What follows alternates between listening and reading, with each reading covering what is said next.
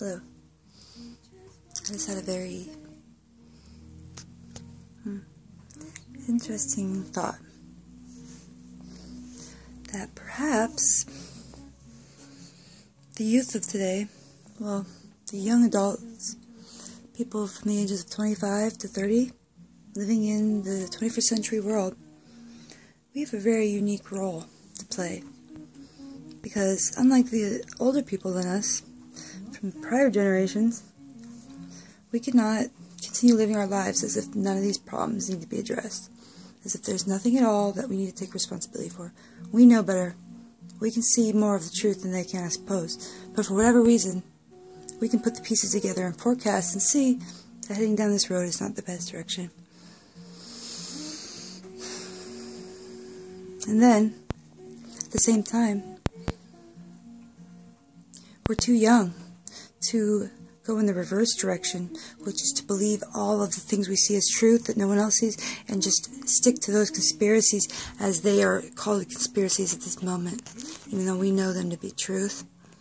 We can't just throw our lives aside and wait for the end, because the end is still not quite in vision of what exactly or when.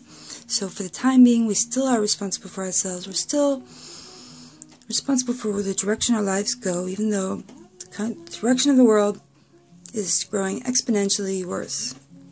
We're still responsible for becoming better as much as we possibly can. If for no other reason than in the 0.00002% chance that people on this planet decide they love the planet, they love our lives, and we want to work to save them, we'll want to have tried our hardest, don't you think?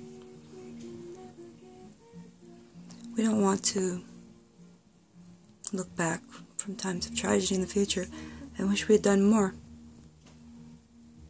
We don't want the bodies to pile up on our streets to realize we don't need war. We don't need militarized police force.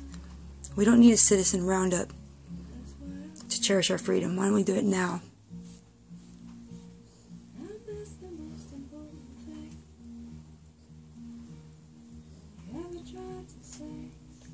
Anyways, that's all for now.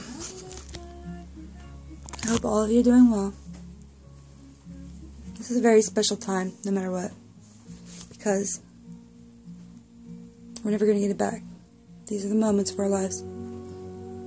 Once they're gone, they're gone for good.